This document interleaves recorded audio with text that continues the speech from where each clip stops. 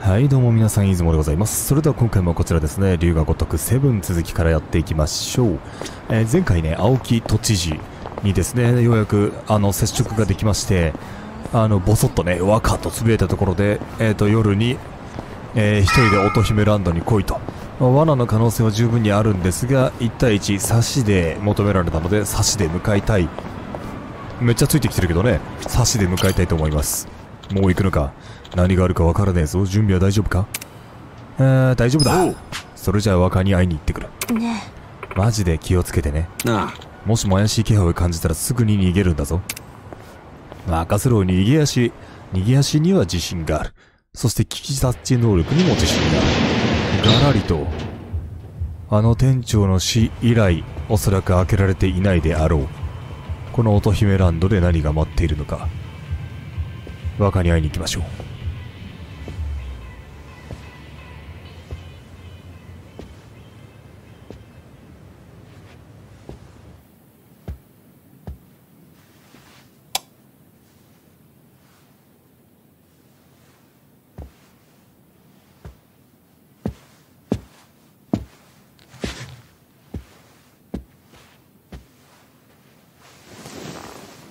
若こんなところで生まれたんだなお前は。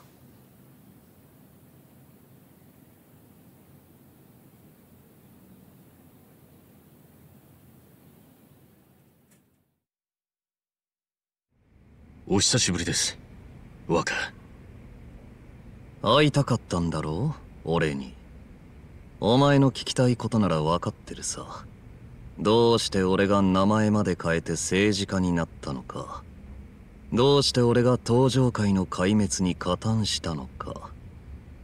あとこの体も気になるか。昔は車椅子だったもんな。全部答えてくれるんですか？ああ。病気はアメリカで治した。肺の移植手術を受けてな。知ってるか？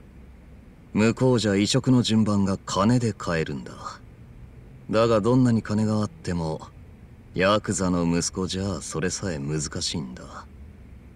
そのために名前変えたんですか？手術のためだけじゃねえ。荒川真澄の息子として生まれたこと。病気のせいで青春時代を人並みに謳歌できなかったこと。そういう人生そのものを書き換えるために名前を変える必要があったんだよでもその結果今じゃ都知事と幹事長を兼任する政治家になれた。どうした？おめでとうございますの一言も言ってくれないのか？素直に言えないんですよね。政治家になるってのはそんなに嬉しいもんなんですか？政治ってのはいいもんさ。ヤクザみたいに暴力で支配するわけじゃない。法律に準じて人々の暮らしを良くする。おかげで多くの人間から感謝されてるよ。小笠原を殺しましたよね。ん？ああ。リスクマネージメントさ。どういう意味ですか？だってあいつはお前に拉致られてブリーチジャパンや俺の内情をベラベラと喋ったんだろ？あいつはそういう男さ。奴は一言も喋ってませんなんて言ってたけど目を見りゃわかるよ。だから処分した。本当かどうか確認もしねえで。なんでそんなに簡単に殺せるんですか？じゃあ聞くがあいつは本当に何も喋らなかったのか？どうだ？そりゃ。ほら見ろ。リスクマネージメントというのはそういう危険を事前に。でも一緒にブリーチジャパンを立ち上げた仲間なんでしょそれをためらわずに切れるかどうかがトップに求められる決断力さ。親父だってそうだっただろう。ガキの頃から面倒見てたお前にあっさりと身代わり出頭を突きつけた。親さんは俺を切ったわけじゃありませんあの時荒川組を守るためには俺が出頭するしかなかったんです。荒川組を守る？沢城の頭が殺した鈴森って男は東上会の直系組員でした。もしも頭がパクられることになったら三次団体で隠したの荒川組はけじめをつけさせられますから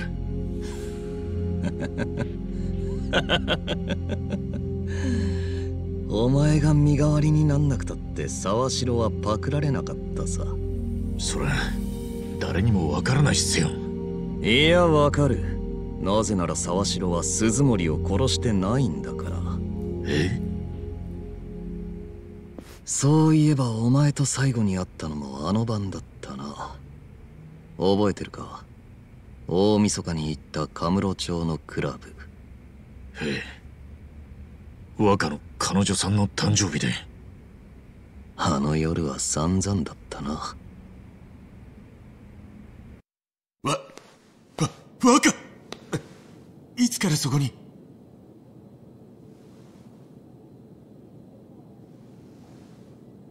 あの、若？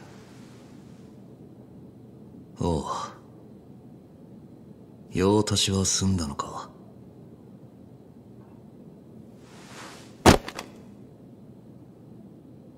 俺は帰るからそれで払っとけ。余ったらケツ拭く時にでも使え。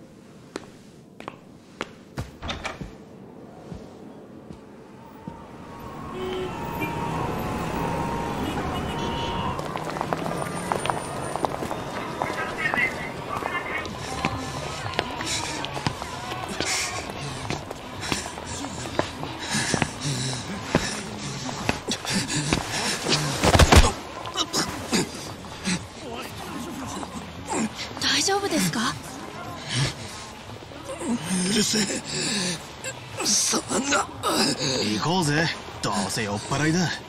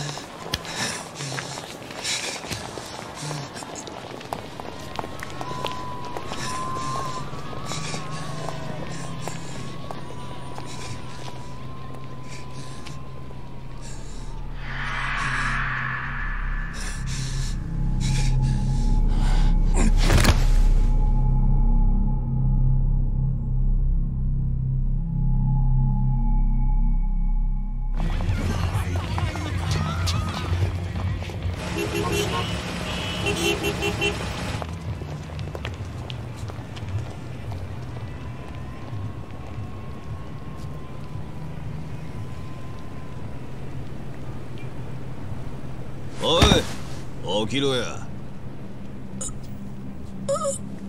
こんなとこで寝てんじゃねえよ。酔っ払いが。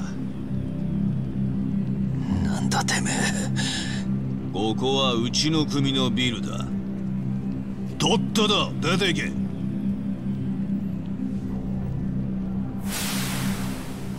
ヤク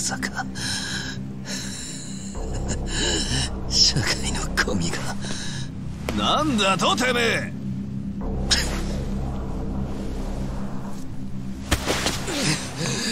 触んじゃねえ。カムロ町でヤクザをちょくるなんていい度胸してんじゃねえ。どっから来たおのぼりさんか知らねえがカムロ町の怖さをたっぷり教えてやるよ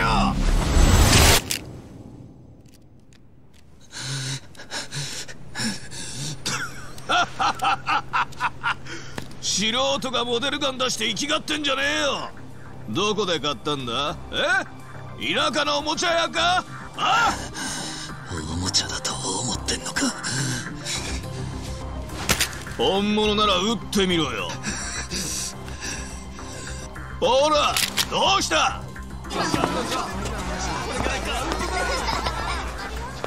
ほらさっさと引き金引いてみろってんだよ撃てねえよな。見せかけの偽物じゃな。二度とでけえ面すんじゃねえぞ。半端もんのくせてめ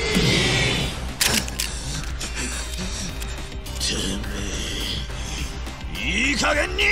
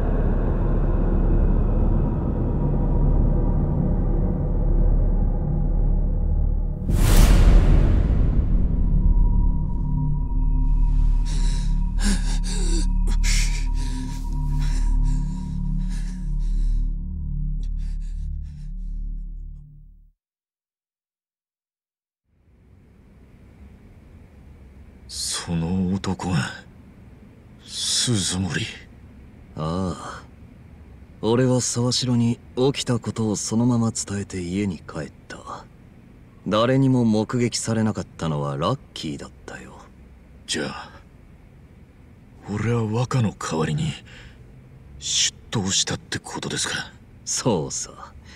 親父は大切な一人息子を守るためにお前をお上に売ったんだよしかし親父もそのままをお前に告げるわけにいかなかったんだろう。だから沢城の身代わりって筋書きを作ってお前に頼み込んだんだ。まんまとあいつの口車に乗せられたお前は喜んで出頭したってわけさ。それでもまだお前はあのクソ親父を信じられるのか？絶望すんのもよくわかるぜ。懲役18年ってだけでもひどい話だがひどいのはその後だよな。勤めを終えて出てきたお前をあいつはバーンだろ。ひでえ話だよな。頼んだぞ。イチ。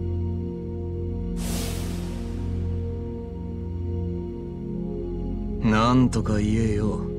一。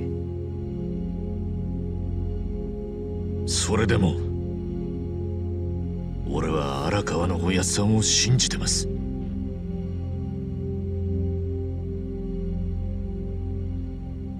ふん。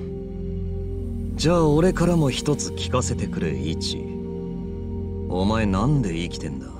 なんで偉人町にいる？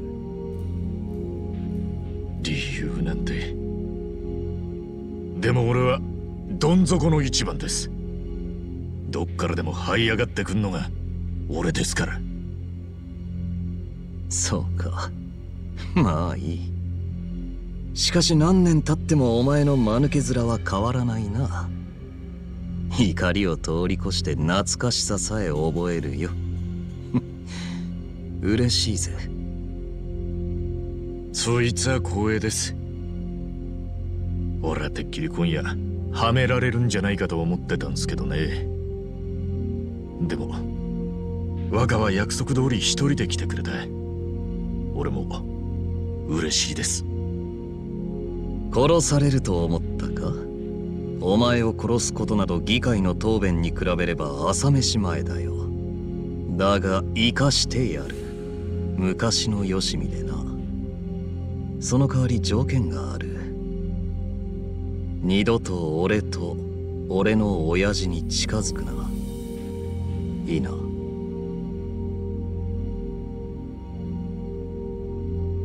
じゃあ俺からも若に条件を出させてもらいます。偉人町から撤退して久米の出馬も取り消してください。何？生意気なこと言うようですけど久米は国会議員の器じゃないっすよ。民事党内でも同じ見解だ。剣に後ろ盾がなければあんな世間知らずの若造は落選するに決まってる。だったらなんで久米なんかを出馬させるんですか？俺の価値を知らしめさせるためさ。え？想像してみろ久米がトップ当選を果たしたらその時民事党の奴らはどう思う青木亮の推薦は何の実力もない若者をトップ当選させるだけの力があるのだと理解するだろう。そして青木亮というネームバリューは荻窪にとって変わる価値があると思い知るはずだ。久米は若の引き立て役ってわけですか。選挙とはまさに駆け引きのゲームなんだよ。だったら偉人町再生シェルターもそのゲームの一部に過ぎないってことですか。あのシェルターか？あれはなかなか役に立つ優れものさ。なんたって不法滞在者を一網打尽で捕まえられるんだからな捕まえるビザの取得をサポートしたりするんじゃ。まさか今さら彼女らにビザが下りるわけがないだろう。シェルターから入管まではバスで行きその後はそのまま強制送還だ。そんな。それじゃ彼女たちを騙したのか！犯罪者を一掃して偉人帳を再生するシェルター名前に偽りはないね。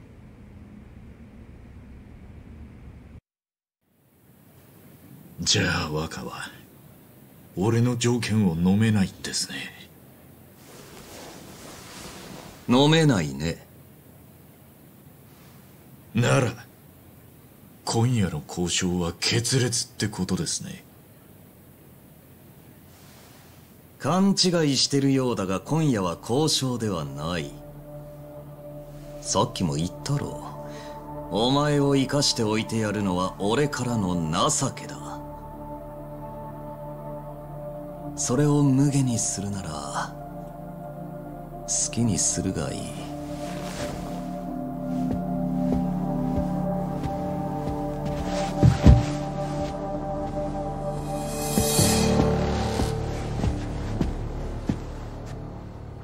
どういうことっすか？若は一人で来るって聞いてましたが若の最後の情けを無駄にしやがって愚か者が。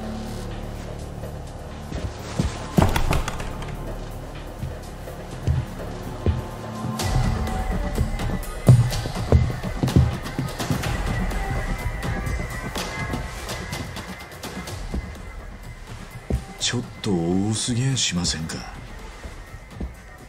ちは約束通り一人なんですよ。こっちだ一番。おい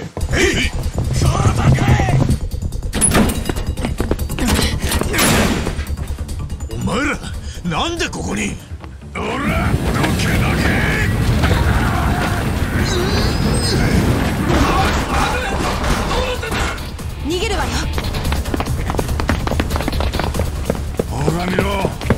やっぱり罠だったじゃねえか。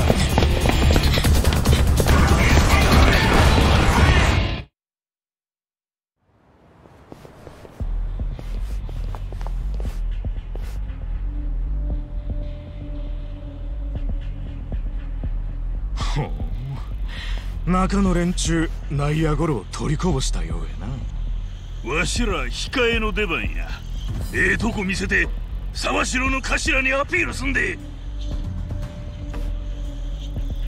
すっきれ。おう。まあそう簡単に逃げられるわけもなくというところでちゃんと外には見張りがいましたよと。まあ裏口を封じていくのは定石ですよね。なんか最近さこのオート戦闘左下をね L2 を押すとオート戦闘に入るんだけどなんか割とさこのなんていうのかちゃんとそんなにしっかり考えなくてもいいやつだってさもうこれに頼りがちになっちゃってて。技とか考えるのめんどくさいからさ。いややばいな。下っ端ですら着持ってるこの時代やべえよな。時代？この今ご時世？ご時世じゃねえか。まあで若干ね、えー、チャキチャキやっていこうかなというところで。まあでも言うてもえなんだなんだ？その技知らない新しく覚えたのかな？えめっちゃ632ってめちゃくちゃ強いんですけど。素晴らしいね。新しい技覚えたらさすがにそここれ銃のさ銃の攻撃ってさ撃ってくるタイミングが小悪魔ウインクかわい。いそれで聞いちゃったらねお前ら極道としてどうなんだって感じするけどね。あと1体か。こいつだけなんかちょっと耐久力高いか？なんかちょうど気絶してくれてるからいいけどこいつだけちょっと強い立場的なやつだったのかな？これで攻撃はい、うん、残念ながらカードはできなかったがこれで終わりというところで。まあ鈴木が全然こんなもんじゃ追っては少ないぐらいだろうから。ああやっぱりねレベルアップランクアップが入ってくれると回復するからありがてえメンバーがねレベルアップランクアップしてくれると非常に助かりますねさてこんなもんじゃ済まないと思うが早めに逃げた方がいいんじゃないか。ほらやってきた。追っ手がやってきた。で挟まれるんか？正面からもやっぱり来るか？そりゃそうだよな。さあ城の頭。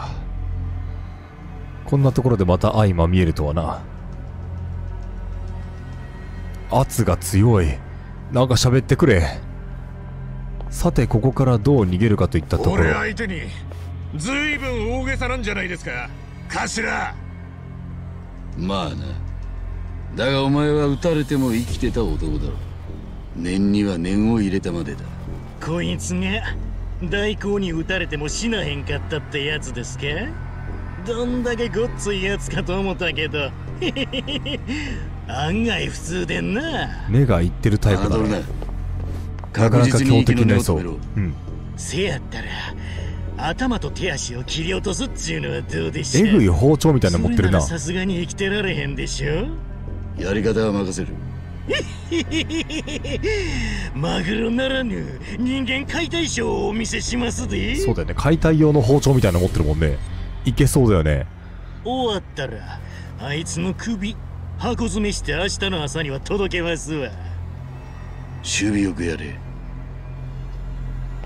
頭は帰るんですか？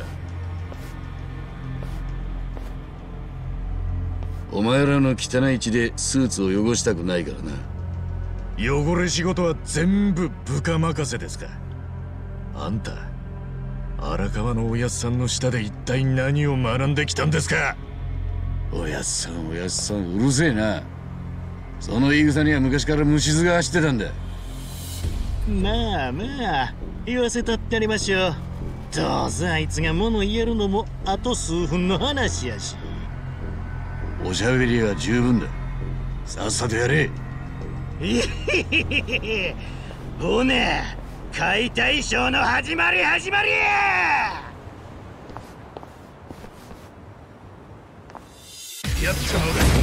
さて何かがどうかなんかねうまいことことは運ぶかと思いきやさすがに1回はちゃんとやんなきゃいけないらしいといったところで。あいいね。極み技1000回発動する。達成した。いいね。素晴らしい。一発でいったやついたね。へえありがたいねといったところで。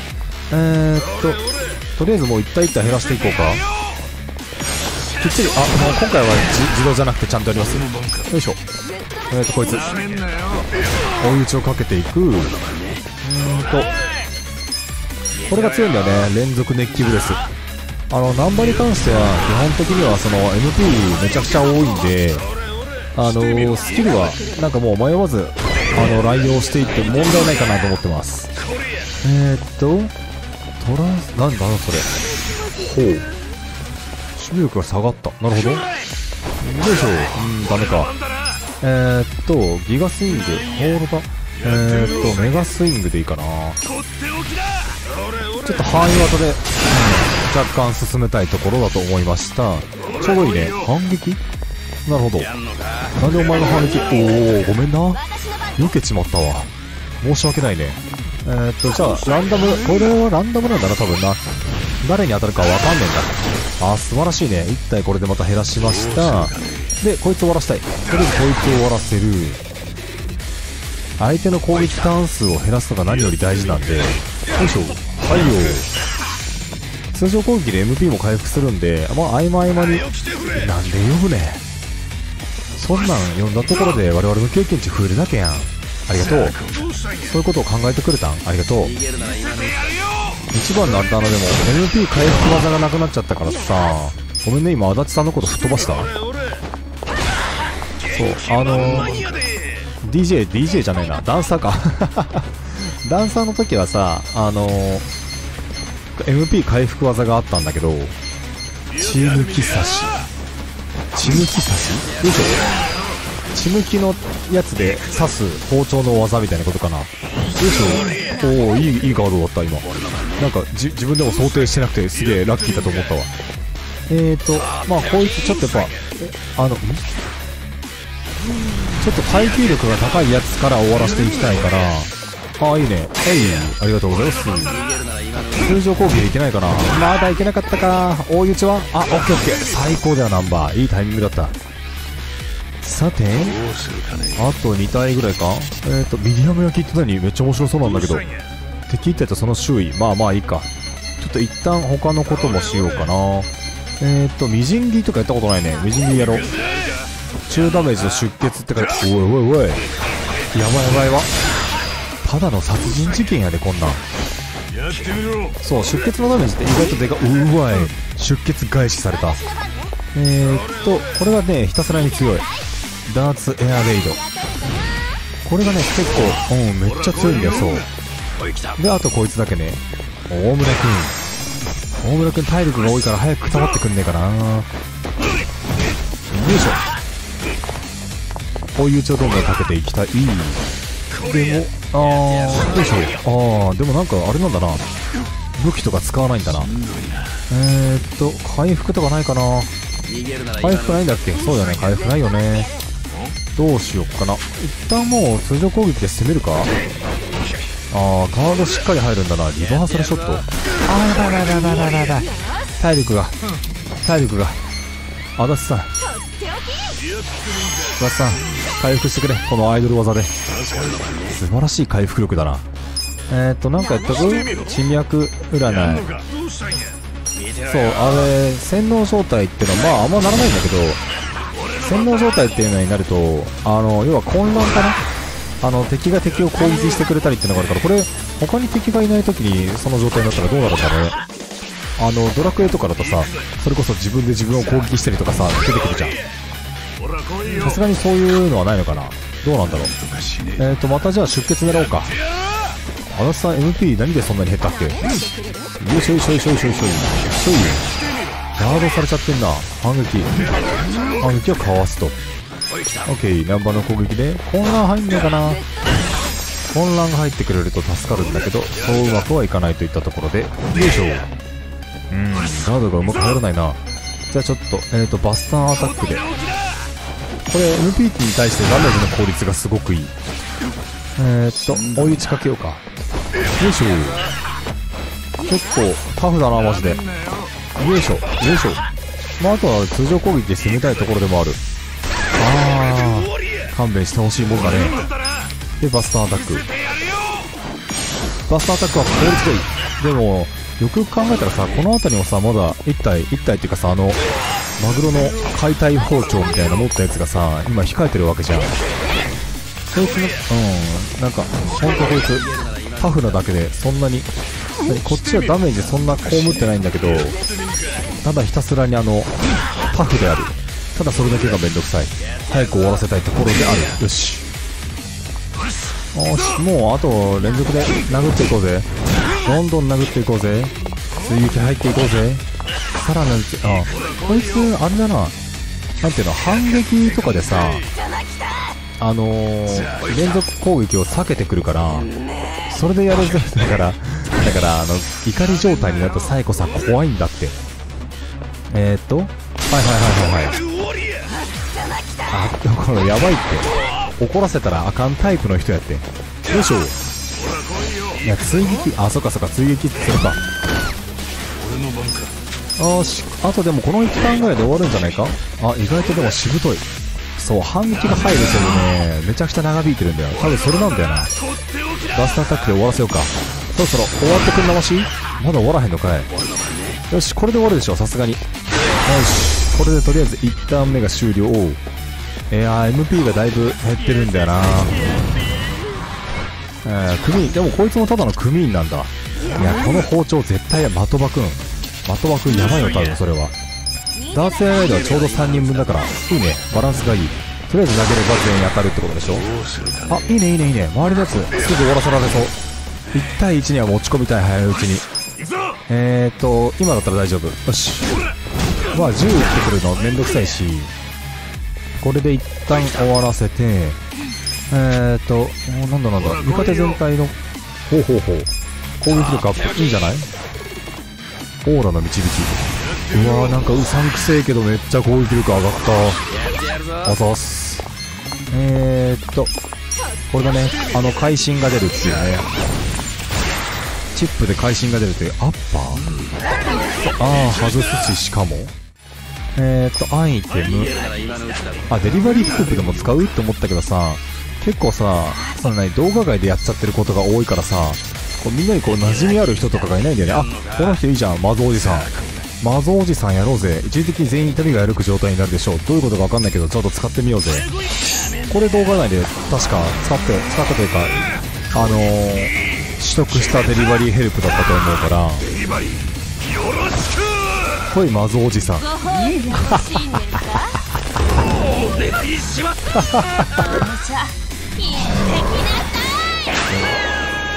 どっちの技か分かんねえよな。おいおいおいおい完全にえ レッドカーペット歩いてる。無痛の盾。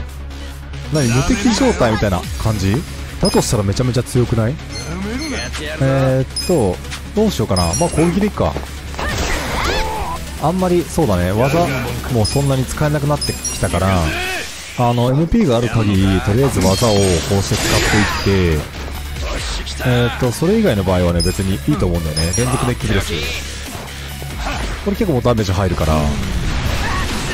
なちょっとごめんね。あのフラッシュ暗算みたいなのできないからちょっとあれなんだけどなかなか強いということはわかるから。えーとそろそろでも割とあれだね。もう終わりは見えてきてる。全員の攻撃でウィークが入るからそんなにあのー、大変な戦いではないあとうん。そうだね。これであと23人ぐらいの。ああいいね。ナンバーはやっぱり MP が多いから。おおいいいいいダメージ入ったよ。これであいいねでも頭もまたどっかさほら徐々に徐々にさ後ろに下がっていくのよあいつ。まただから追いかけなきゃおおなんか不意な形で終わってしまった。OK7 万2500円ありがとうございますいいね。めちゃめちゃたくさんアイテム元に入ったし。また強くなっちまったか。3人ランクアップと。成長できるとはな、うん、またいい女になっちゃった？いいじゃあ4ない人か。OK 俺の首を箱詰めにして頭に届けるとか言ってたよな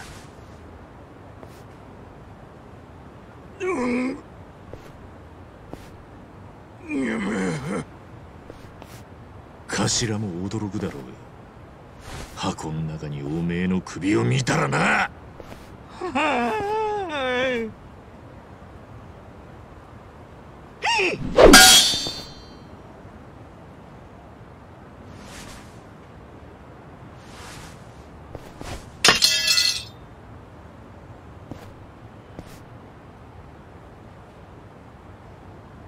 めっちゃ気持ち悪いやつだったわね。近江にはこんなのがワンサがいんのか。日本一の極道組織だこれよりもヤバい奴らだってゴロゴロいいんだろ。そんな連中がどんどん偉人帳にやってくるの？勘弁してよ。一番。浜子さんどうしたんだ？今シェルターへ行ってきたんだよ。シェルターへ？あの子たちの忘れ物があったから届けようと思って。そしたらそしたらあの子たちどこにもいないんだよ。シェルターの職員も全然取り合ってくれないしさ。一体どうなってんだか。落ち着け。浜子さん。一緒に探してくれよ一番。浜子さん。あの子たちはもう日本にはいない。えシェルターは彼女たちを強制送還させるためのネズミ捕りだったんだ。そそんなあの子たちは自分が生まれた国に頼れる人間なんていないんだ。だから偉人帳に身を寄せていたんじゃないか。私はね私はあの子たちの幸せだけが生きがいだったんだ。なのになのになんでこんな結果に？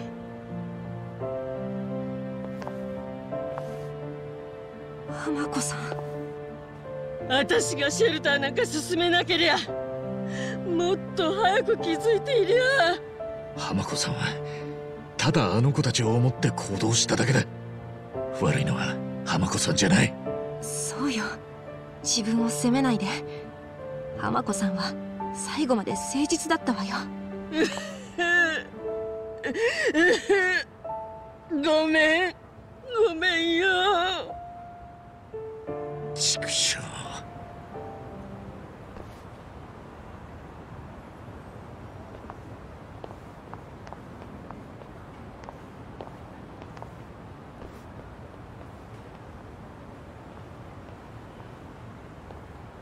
浜子さんひとまず休ませたわ。ありがとうさっちゃん。どんどん偉人帳がぶっ壊れていくな。反純義が言ってたの覚えてるか？俺たちも行く当てがあるなら出て行った方がいいって。本当に考える時かもしれねえぞ。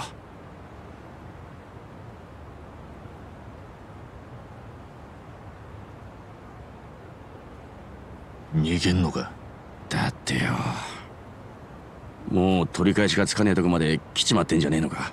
取り返しがつかねえ。か。ちなみにナンバーはどっか？行く当てがあんのか？いやすぐには思い浮かばないけどよ。足立さんは？親もとっくに亡くなってるし今さら行く当てって言われてもな。最後は？とてもじゃないけど妹とお父さんを置いて出ていけないわ。じゃあ決まりじゃねえか。決まり？何が？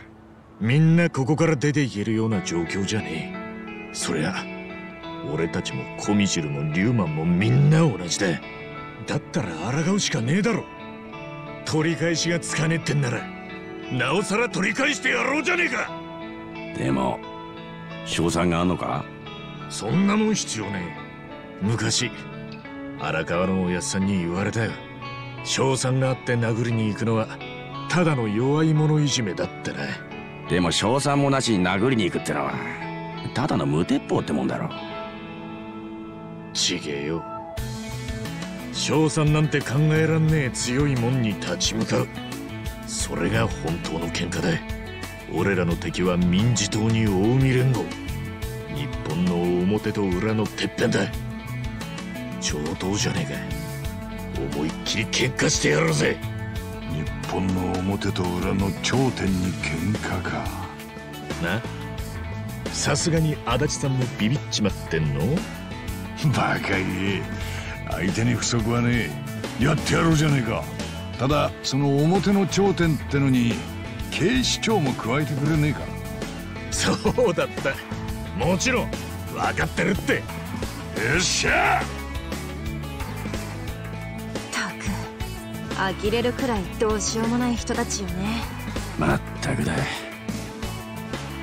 でも。好きなんでしょ？うんそんな自分にも呆れちまうよ。ナンバーさっちゃん俺らと一緒に。はいはい。もう結論出てるから。さすがは俺たちの仲間だ。でもナンバーはどうなんだ？お前は弟さんの無事が確保されたことだし結婚の話だって。本当にいいのか？俺がそんなに白状に見えるか？こうなりゃ地獄の果てまで一緒に戦って弟の結婚式のスピーチのネタにしてやるぜ。決まりだな。どいつもこいつも今に見てろよ。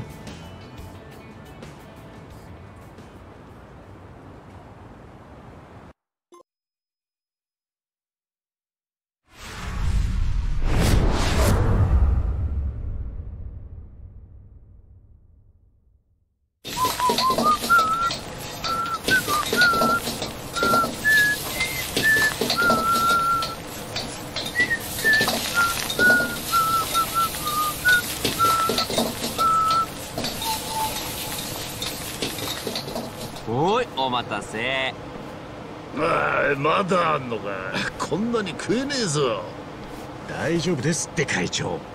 食うのは若い俺らに任せてくれりゃ。私らはまだ全然いける。心配いらないよ。いただきます。さっきから食ってばっかで何も話せてねえじゃねえか。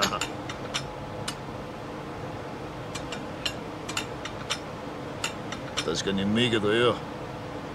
じゃあ俺が議事進行しよっか。これが久米君ブリーチジャパンの横浜支部長。次の総選挙でこの地区から立候補するって御人だよ。青木亮がこの偉人帳を自分の色に染める手始めが彼ってわけだね。ここだけじゃねえ。全国でブリーチジャパンの支部長たちが出馬するんだろそうみたいだね。はあ、となりゃもはや日本中がなるようにしかならねえ今青木知事の人気に対抗できる勢力はどこにもねえんだからな。ちなみに星野会長は久米は当選確実って読み？まあな。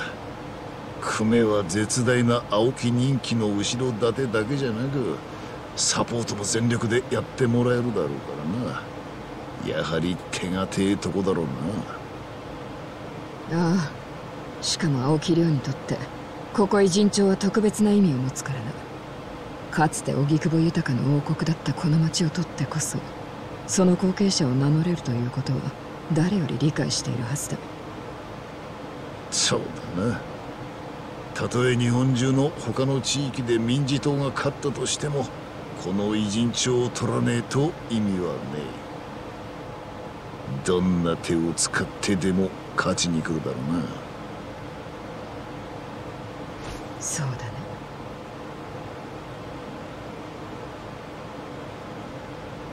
ああやっぱり納得いかねえな。ですよね。ん？何がだ？だってそうでしょ。このままじゃやられっぱなしですよ。しかしほっといたら結局勝つのは若です。でもブリーチジャパンなんて近江連合を手足で使ってる限りなくブラックな連中ですよ。そんなのが偉そうにグレーゾーンの排除だとかヒーロー気取りで抜かしやがって。おまけにこのまま日本を牛耳るだなんて。そんなの納得いくわけねえでしょ。だが相手は政治家だぞ。さすがにその領域に手出しは。情けねえこと言うなよ。あんたたちは自分らなりのやり方でずっとこの町の弱いもん守ってきたんじゃねえのか。そりゃ偽札作って偉人帳の均衡を保ってきたことはお世辞にも褒められることじゃねえよ。でもあんたらみんなこの町の世話になってこの町に恩があるって気持ちに嘘はねえんだろ。それに偽札の話だって最初に持ちかけてきたのは荻窪だでもここにいる誰一人として金儲けがしたくてその話に乗ったんじゃねえ。元はといえこの町で起こる抗争を止めるためだ。もしこのまま黙ってちゃ偉人さんの名が廃るってもんですよ。おいちょっと言い過ぎじゃねえか。調子に乗ると私も黙ってられないね。ちょっと待った。僕は春日君に同感だね。お前。俺らは確かにグレーゾーンの住人だよ。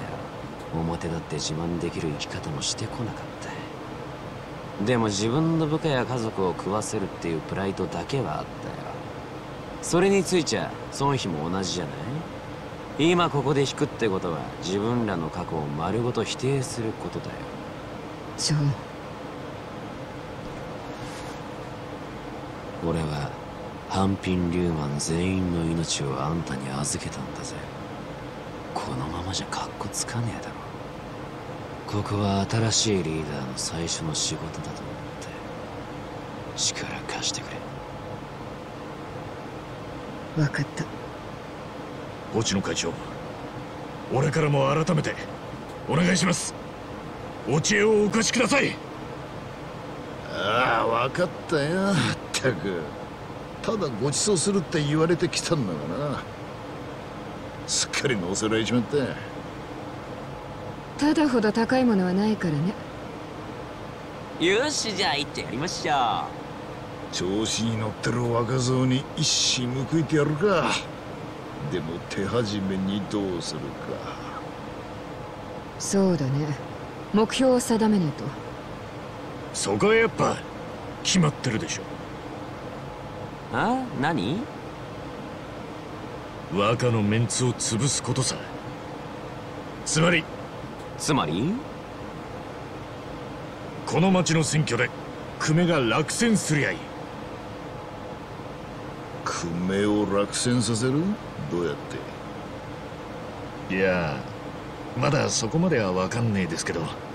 でももしやれたらざまみろって感じですよね。簡単に言うんじゃねえよ。じゃあ襲って立候補できない体にでもするか？ならうちの暗殺部隊が。殺す気かよ。抵抗されれば最悪の場合は。そういうのはダメそれにそんなことしてもすぐ次の立候補者を立てるだけだよ。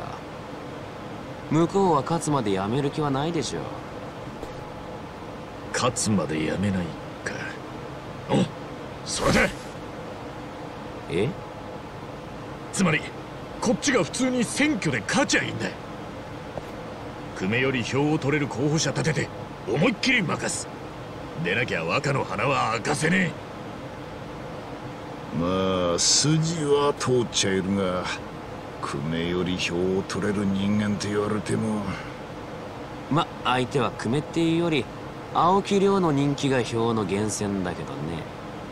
星野会長誰かお心当たりはありませんか？あいにく思い当たる人間はいねえな。今まで荻窪という存在が大きすぎたせいでこの町やまともな対抗馬が育たなかったからな。選挙の時はいつも形ばかりの対立候補がいただけだった。じゃあいっそ星野会長が出馬ってのはどうです？なんだと？だって地元じゃ顔も広いし貫禄もあるし。いくら維新長でも極道が当選するわけねえ当選したら下で世も末だ。確かに。誰ら探してみる。青木亮に勝てる候補者をな。お願いできますか？かまめが。俺にだけ骨折らせるつもりじゃねえだろうな。はい？選挙ってのは金がかかるんだ。候補者見つけたとこでその金まで俺に出せってのか？先に言っとくけど今うちに金の余裕はないよ。いかほどかかりますんで。全部出せとは言わねえ。だが立候補するには供託金300万ってのが現金で必要だ。300万？俺に用意しろと。でかい喧嘩売ろって人間がそれぐらいの金作らなくてどうすんだはあ会長の言う通りだね。どうする？春日君。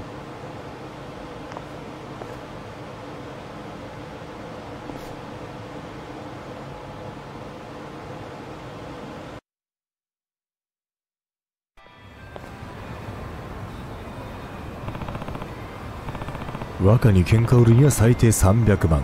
選挙の供託金ってのを作らねえと。とにかく要はじゃじゃじゃりんじゃりん稼ぐぜ。あれはもうでも逆に300万ぐらいなんとか用意してやりますよみたいな感じで言ってほしかったけどね。稼ぎ終えたら連絡待ちだな。星野会長が候補者を見つけてくるまで酒でも飲みながらアジトで待つかというところで、えー、長いムービーが間に挟まりましてすごい長いパートとなりましたが今回はここまでにしようと思います。ちなみにもう300万は持ってます。500万以上あるんで、とりあえず大丈夫ですかね。えー、銀行にもまだお金はあるので、まあお金が集め終わったというところで、今回はここまでにしたいと思います。今回の動画もご視聴ありがとうございました。また次の動画でお会いいたしましょう。またね